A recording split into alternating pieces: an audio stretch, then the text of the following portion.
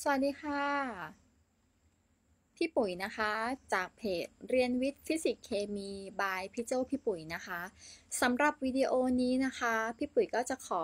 จัดให้สำหรับเด็กม .4 เลย ก็คือจะเป็นเรื่องของบทที่1นะคะอะตอมและตารางธาตุในเรื่องของสัญลักษณ์นิวเคลียร์แล้วก็การจัดเรียงอิเล็กตรอนนะคะ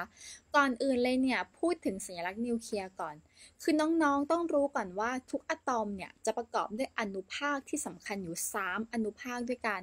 อนุภาคแรกนะคะ เรียกว่าโปรตอนโปรตอน เจ้าโปรตอนเนี่ยมีสัญลักษณ์ก็คือ p ตัวเล็ก ชนิดของประจุไฟฟ้าก็มีสมบัติเป็นบวก ตัวที่สองนะคะคือนิวตรอน นิวตรอนเนี่ยสัญลักษณ์ก็คือตัว n เล็ก ชนิดของประจุก็คือนิวตรอนจะมีความเป็นกลางทางไฟฟ้า พี่ปุ๋ยก็ขอเขียนด้วยตัวเลขศูนย์เนาะ ตัวอนุภาคสุดท้ายนะคะก็คืออิเล็กตรอน อิเล็กตรอน อิเล็กตรอนเนี่ยสัญลักษณ์คือตัว e นะคะ แล้วมีประจุลบที่ด้านบนขวาเนาะ ชนิดของประจุไฟฟ้าก็เป็นประจุลบ อะ รู้จักอนุภาคมูลฐานของอะตอมครบทั้ง 3 อย่างแล้ว หัวข้อต่อมานะคะก็คือ เราจะทำยังไงที่จะเล่ารายละเอียดเกี่ยวกับอนุภาคมูลฐานทั้ง 3 อย่าง ไม่ว่าจะเป็นโปรตอน นิวตรอน อิเล็กตรอน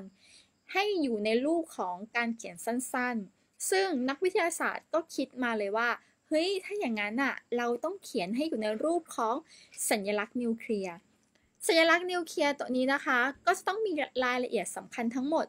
3 รายละเอียด ก็คือ 3 อย่างอะที่ต้องรู้อะเอางี้แล้วกัน ตัวแรกนะคะ เดี๋ยวพี่ปุ๋ยขอใช้สัญลักษณ์ย่อว่า x ซ่า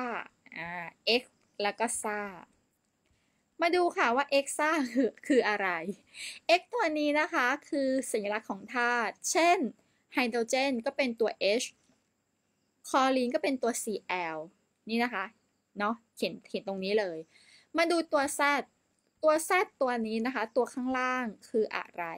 z ตัวนี้นะคะ คือเป็นตัวที่บ่งบอกถึงเลขอะตอม เลขอะตอมเนาะ อะเลขอะตอมเนี่ย ก็คือเป็นตัวเลขที่แสดงถึงผลรวมของจำนวนโปรตอน เพราะฉะนั้นเลขอะตอมตัวนี้นะคะ บ่งบอกถึงจำนวนโปรตอน โอเคนะคะ อ่า รู้จักตัวซแล้ว ต่อมา รู้จักตัว A ข้างบน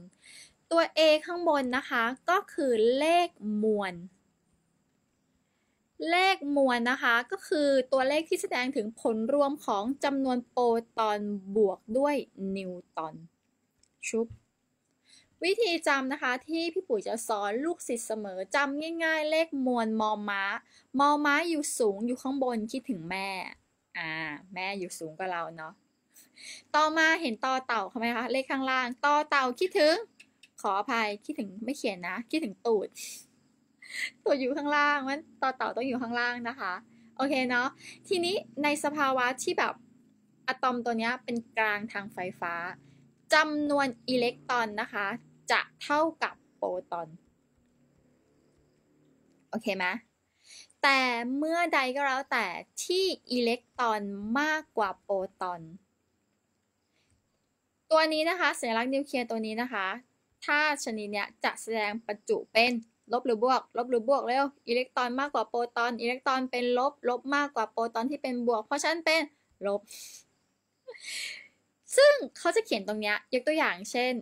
x ซ่าตรงเนี้ยก็คือเป็นตัวเลขอะไรก็แล้วแต่ยกตัวอย่างเช่น x เป็น 6 อะ a เอ่อ x ตรงข้างล่างเลขอะตอมเป็น 6 เลขมวลเป็น 15 อะ สมมุติเป็นอย่างนี้ ถ้าอยู่ในสภาวะแบบนี้เขาเรียกสภาวะที่เป็นกลางนะคะครูปุ๋ยเขียนโปรตอน นิวตอน และอิเล็กตรอนชุบอะเติมตัวเลขกันดีกว่า ตัวเลขโปรตอน โปรตอนอยู่ไหนก็คือเลขอะตอมคือข้างล่างตัวนี้ก็คือเลข 6 บอกแล้วว่าในสภาวะที่เป็นกลางทางไฟฟ้า คือตรงนี้ไม่มีเสียหลักไม่มีประจุบวกประจุลบ โปรตอนจะย่อมเท่ากับอิเล็กตรอน เพราะฉะนั้นเมื่อโปรตอนเป็น 6 อิเล็กตรอนก็เป็น 6 ค่ะ มาดูนิวตอนนิวตอนคิดยังไง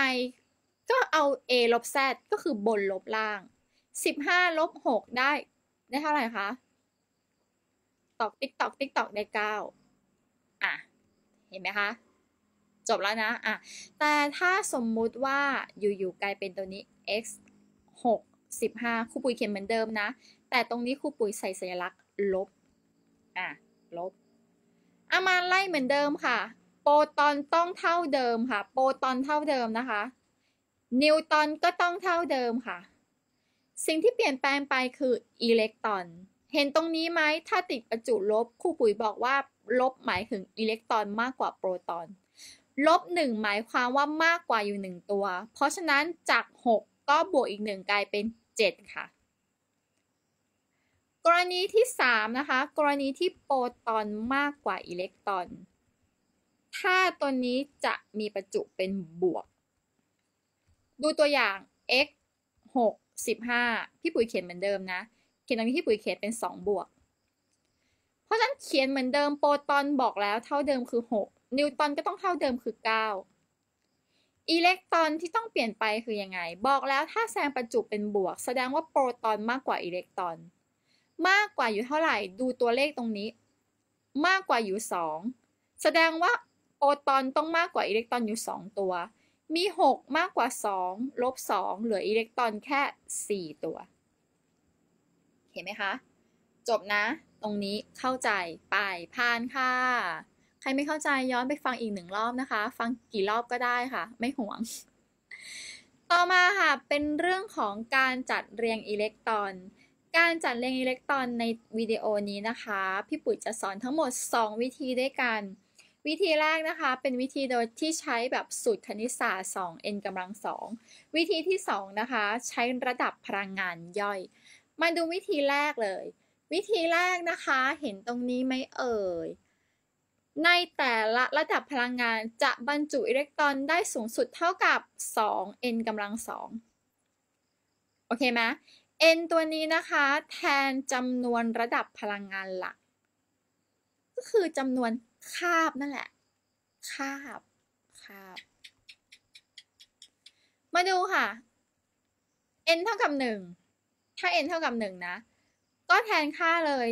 2 n ก็คือเลข1กำลัง2 2คูณ1กำลัง2ก็คือ2คูณ1มีค่าเท่ากับ2แสดงว่าในระดับพลังงานที่1 n เท่ากับ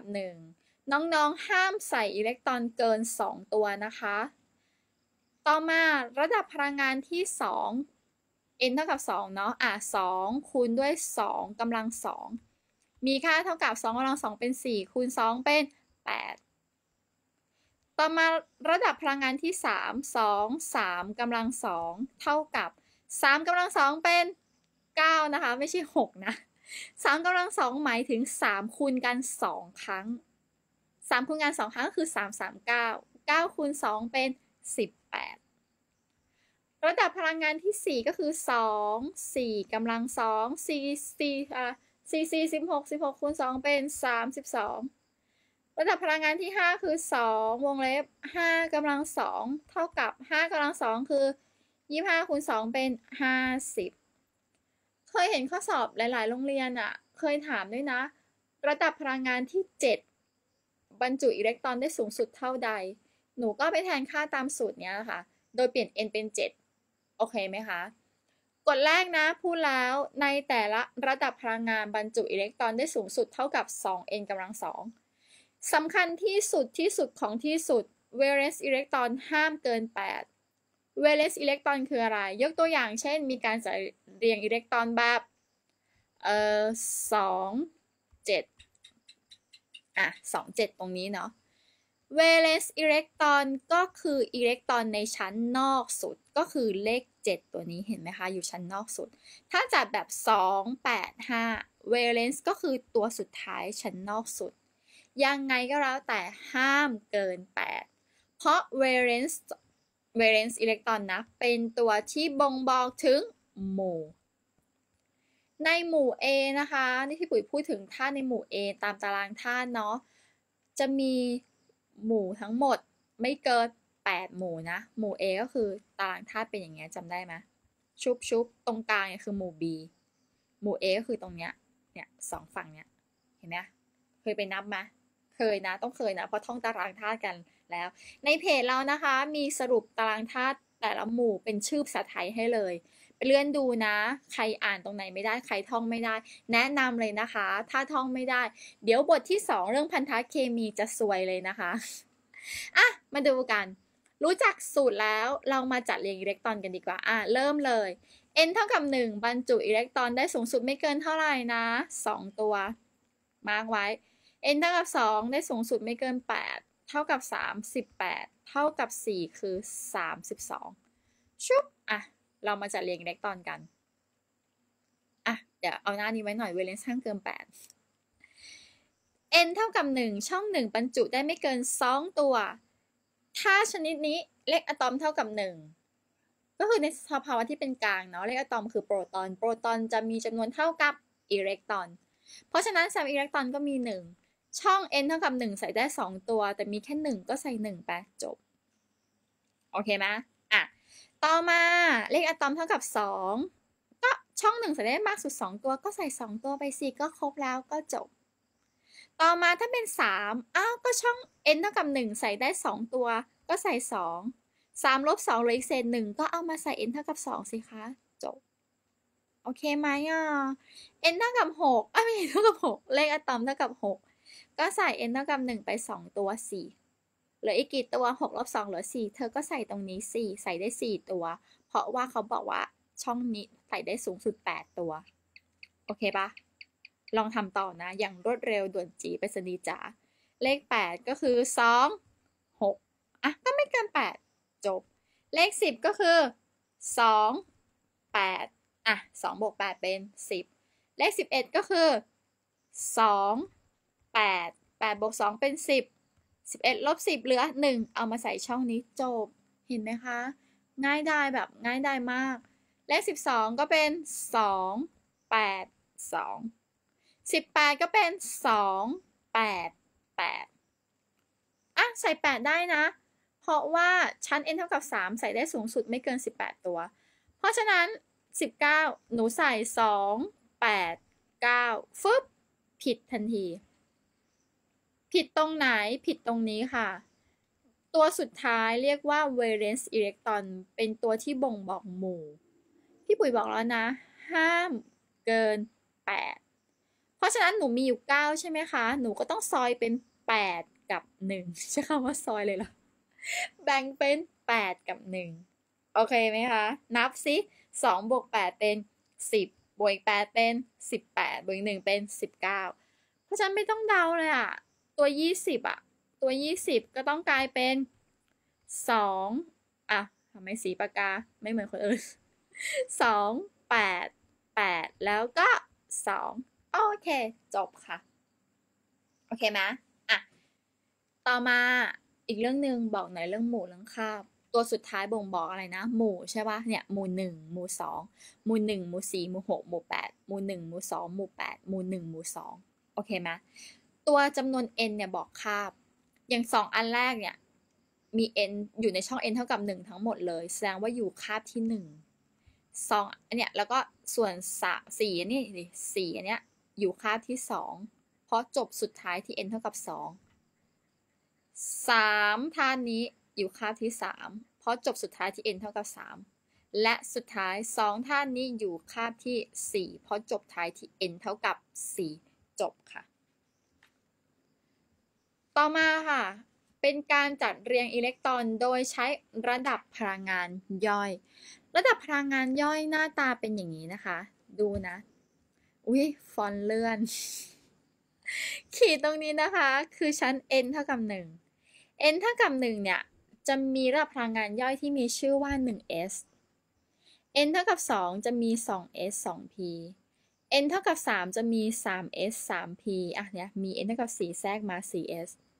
ตรงนี้นะคะ ไม่ต้องจำรูปนี้เลยทำไมถึงไม่ต้องจำเพราะเราจะมีวิธีการจำที่ไม่ต้องท่อง ขอแค่มือนิ่งๆ ก็เขียนได้ โอเคไหมเดี๋ยวพูดให้ฟังว่าเป็นยังไงนะคะ มาเรามาดูกันก่อนเลย หนูเห็นเลข 1s 2s 2p 3s ตัวนี้ไหมคะ ระดับพลังงานย่อยตัวนี้นะคะ เขามีการเขียนอย่างนี้เห็นปะยกตัวอย่างเช่น 1s 2 หมายความว่าอะไร 1 ตัวนี้นะคะ แสดงถึงระดับพลังงาน n เท่ากับเท่าใด นี่ n เท่ากับ1ไงก็เลข 1 n เท่ากับ 2 ก็เป็นเลข 2 โอเคไหม s ตัวนี้นะคะแสดงถึง orbital orbital นะคะ จะมีทั้งหมด 4 ชนิด s p d และ f เดี๋ยวเอาให้ดูว่าเป็นยังไง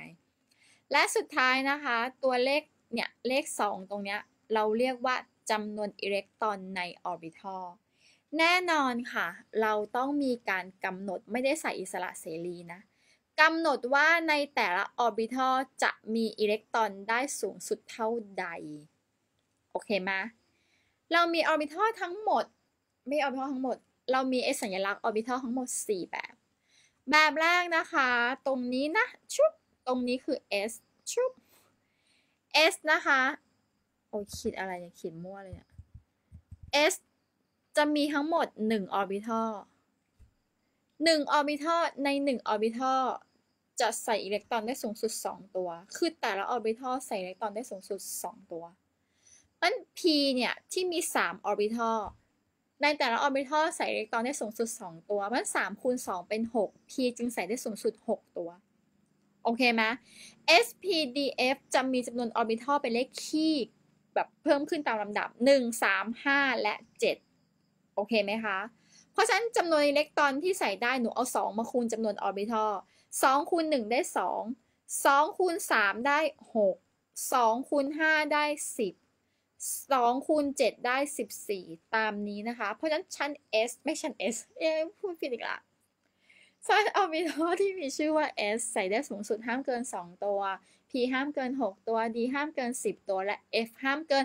14 ตัว โอเค get นะ get แล้วไปต่อค่ะ เด็กบอกยังค่ะ เมื่อกี้ที่ ที่พี่ปุ๋ยบอกว่าไม่ต้องไม่ต้องไปท่องระดับพลังงานย่อยนะว่าเรียงจากอะไรเป็นอะไร แต่ต้องเขียนอย่างนี้ได้ชุบนี่เลยทำไมถึงบอกว่ามือต้องนิ่ง ที่บอกว่ามือต้องนิ่งเนี่ย เพราะว่าหนูดูนะ 1s 2s 3s 4s 5s 6s จะต้องเป็นแถวตรง แบบตรงดิ้งแนวเดียวกัน p นะ ก็ไล่มาเห็นปะจืดสองสาม d ก็เริ่มที่ 3 f ก็เริ่มที่ 4 เห็นปะเนี่ยแล้วแนวนอนก็ต้องตรงกัน เขียนอย่างนี้ให้ตรง ถ้าไม่ตรงตาเข เอาไม้บรรทัดมาช่วยไปว่าเด็กตาเขไม่ใช่ทำไมต้องเขียนตรงนะ ไม่มีเอาไม้บรรทัดมาช่วยไม้บรรทัดไม่มีก็เอาเนี่ยขอบกระดาษอะมาขีดเอา อะ มาดูค่ะ พอหนูวาดตรงนี้ได้เสร็จแล้วปุ๊บ ก็พี่ปุ๋ยอยากให้หนูเขียนอย่างนี้ ชุบตึ๊ดนี่ไงขีดมาอย่างนี้ เออ เออ ตรงไหมตรงไหมอะคิดว่าตรงนะ จินตนาการว่าตรงอือเห็นไหมตามนี้นะอะขีดมาอย่างนี้แล้วนะพอขีดมาอย่างนี้เสร็จปุ๊บเราจะใช้ทีละเส้น ใช้เส้นนี้ก่อน แล้วเส้นนี้แล้วเส้นนี้เส้นนี้เส้นนี้ โอเคไหมอะมาดูเลยค่ะ เส้นนี้เส้นแรกคือ 1s อะเขียนเลยค่ะ เขียนเลยนะจ๊ะ 1s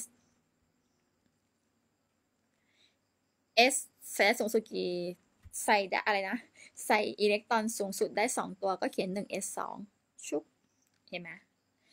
1s อะ เส้นแรกผ่านจบ เส้นที่ 2 คือเส้นนี้ ชุบ 2s 2s ใส่ได้ 2 ตัวก็ใส่ 2 ชุบ เส้นนี้ใช้เสร็จแล้ว เส้นนี้ เส้นนี้ใช้เสร็จแล้ว ต่อมาเส้นนี้ เส้นที่ 3 เริ่มที่ข้างบนนะ ก็คือ 2p แล้วค่อย 3s ไหนพูดให้ชื่นใจสิ 2p ใส่อิเล็กตรอนได้สูงสุด 6 ตัว 3s ใส่ได้ 2 ตัวคุยคนเดียวค่ะหนึ่งสองเส้นนี้เสร็จแล้วนะ ต่อมาเส้นที่สี่คือตรงนี้ เส้นนี้ เส้นนี้ก็สาม p สี่ s สาม p หกตัวสี่ s สองตัว เส้นที่สี่เสร็จแล้วหนึ่งสองสามสี่เสร็จแล้ว เส้นที่ห้าคือเส้นนี้ชุบก็เป็นสาม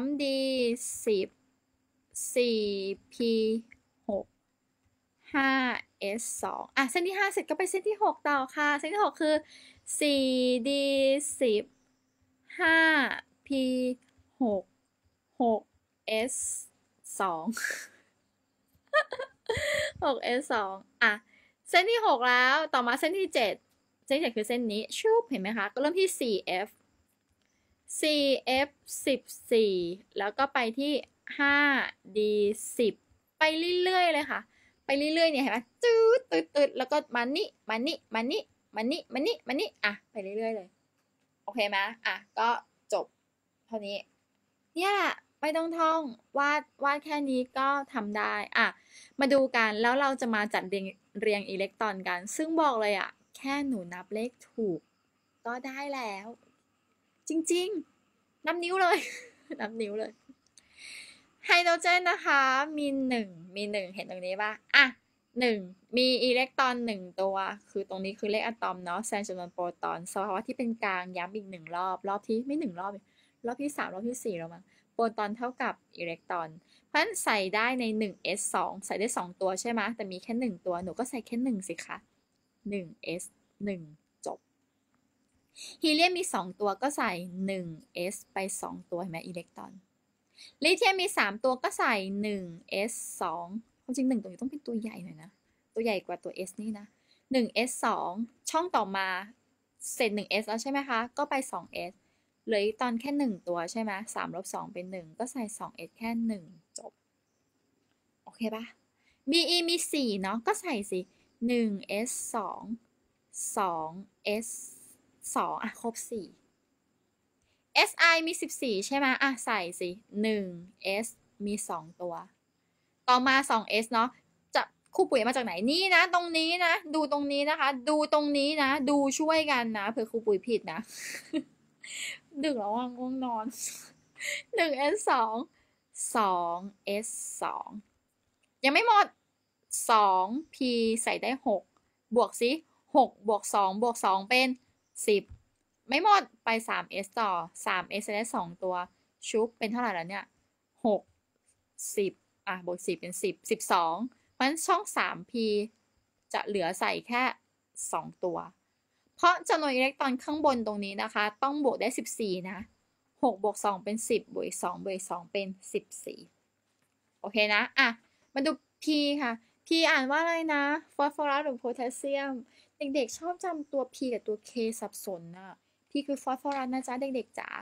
ก็เป็นใส่เลย 1 S 2 2 S 2 นี่ใจดีมากเลยนะเนี่ย แจกชีตฟรีอะกรุณาปิ้นและมานั่งเรียน ให้ได้ขนาดนี้ กรุณาอย่าทิ้งขว้าง เซฟไปแล้วปิ้นด้วยนะ ไม่ไม่มีเครื่องปิ้นแบบไป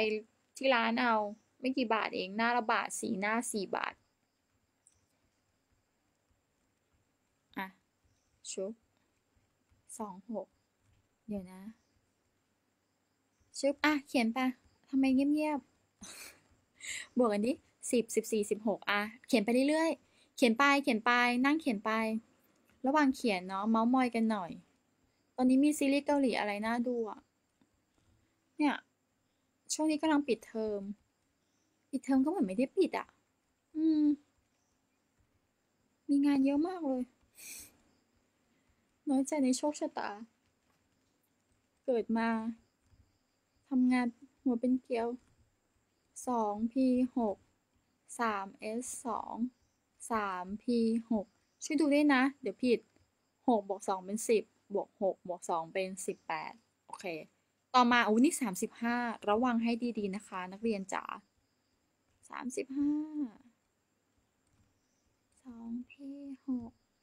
สิบห้าสอสาม s สองสาม p หกใช่ไหมสาม p แล้วก็ต้องเป็นสี่ s 4s แล้วก็ 3d ชุบแล้วก็ 4p ชุบบวกหน่อย10 20 30 35โอเคไอโอดี53นี่ตั้งโจทย์เองอะเนี่ย คิดชีตเองทำอีชามอะไรเองหมดเลยทำไมฉันต้องไปถึงเลข53ก็ไม่เข้าใจ อยากให้นักเรียนได้ความรู้อย่างเต็มเม็ดเต็มหน่วยค่ะ ถึงแม้จะฟรีค่ะ เอ้ย ตัวเลขต้องอยู่ต้องตัวใหญ่กว่าตัวอักษรดิทำไมพี่ปุ๋ยเขียนตัวเล็กวะ เริ่มละสิบแล้วก็ 4p 6 4p แล้วก็ต้อง 5s 2 5s แล้วก็ต้อง 4d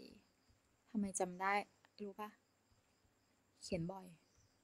ขียนบ่อยแล้วจำได้ จริง ๆ นะ เขียนบ่อยแล้วแบบจำได้เลยอะไม่ต้องท่องนะวาดรูปเอาสิบอะเลขหกไปสักไกลเลยยี่สิบสามสิบสี่สิบสี่ห้าหกสี่เจ็ดแล้วก็สิบเอ็ดสองอะโอเคครบค่ะ โอเคไหมอะใครไม่ทันนะพอชด้านนี้ไว้แล้วก็ลอกนะ แต่ใจอยากให้คิดเอง ต่อมาจะสอนเรื่องเกี่ยวกับถ้ามีการจัดเรียงอิเล็กตรอนแบบย่อยแล้ว การจัดเรียงอิเล็กตรอนเนี่ย ทุกแบบเลยอะมันสามารถบอกตำแหน่งของธาตุได้เหมือนเมื่อกี้ที่สอนไปดูหมู่ดูคาบใช่ไหมดูยังไงแต่ถ้าเป็นการจัดเรียงอิเล็กตอนแบบย่อยดูอย่างนี้จำนวนระดับพลังงานใช่ไหมคือตัวเลขสูงสุดตรงเนี้ยอย่างเช่นไฮโดรเจนมีอันเดียวก็เป็นเลขหนึ่งก็เป็นระดับพลังงานก็คือเลขหนึ่งฮีเลียมก็เป็นเลขหนึ่งลิเธียมเนี่ยสูงสุดคือเลขสองก็ใส่เลขสองโอเคปะตรงนี้ก็เลขสองก็ใส่สอง ซิลิคอนเลขสามสามสามสามสามโอเคไหมบรมีนไอโอดีนสูงสุดคือเลขชุบชุบเลขสี่ไอโอดีนคือเลขห้านี่ไง เนี่ยเนี่ยจำนวนที่สูงสุด โอเคไหมจบนะ นี่คือระดับพลังงาน ต่อมาจำนวน valence electron valence electron ก็คือดูว่าในจำนวนระดับพลังงานที่สูงที่สุดมีอิเล็กตรอนรวมกันเท่าใดเท่าไหร่ เป็นอิเล็กตอนของตัวนี้นะคะ เลขหนึ่งอ้าวก็มีเนี่ยเนี่ยกี่ตัวตรงเนี้ยอะหนึ่งตัวนะ ก็ใส่หนึ่งตรงนี้มีสองก็ใส่สองตัวที่สองมีหนึ่งก็ใส่หนึ่งตัวที่สองมีสองก็ใส่สองตัวที่สาม n สามเนี่ยสามเนี่ยมีสองอันใช่ป่ะอันนี้สองกับอันนี้สองบวกกันเป็นสี่อันนี้สามนี่สามสองบวกสามเป็นห้าจ็ดเจ็ดบวกกันเป็นหก อันนี้เป็นเจ็ดอันนี้เป็นแปดชุบต่อค่ะ อันนี้สูงสุดสี่ใช่ป่ะสี่มีสองอัน บวกกันได้สองบวกห้าเป็นเจ็ดสูงสุดคือห้าตรงนี้ห้าสองบวกห้าเป็นเจ็ดชุบ ถูกนะ โอเคเนาะ อะ ทีนี้มาดูต่อ ตำแหน่งของธาตุอู้ถ้าเขาสอบออกต้องทำได้นะจ๊ะ เรียนมาแล้วจำนวนระดับพลังงานบ่งบอกคาบ จำนวนเวเลสอิเล็กตรอนบ่งบอกหมู่ เพราะฉะนั้นตำแหน่งของธาตุ S อ่าไม่ S ไฮโดรเจนตัวนี้ อยู่คาบที่หนึ่งอยู่หมู่ที่หนึ่งนี่ไงฮีเลียมคาบที่หนึ่งหมู่ที่สองลิเทียมคาบที่สองหมู่ที่หนึ่งไล่มาเลยเนี่ย นี่ก็คาบสองหมู่สอง คาบสามหมู่สี่คาบสามหมู่ห้าคาบสามหมู่หกคาบสามหมู่เจ็ดคาบสามหมู่แปดโอเคไหมอีกสองตัวสุดท้ายเนี่ย ตรงเนี้ยคาบสี่หมู่เจ็ดคาบห้าหมู่เจ็ดโอเคนะคะ ทั้งหมดทั้งมวลก็จบลงเพียงเท่านี้ โอเคนะคะ หวังว่าวิดีโอนี้จะมีประโยชน์กับน้องๆทุกคนนะคะ ครูปุ๋ยมีความฝันว่า เด็กไทยจะชอบและรักในวิชาเคมี ขอบคุณนะคะ บ๊ายบาย สวัสดีค่ะ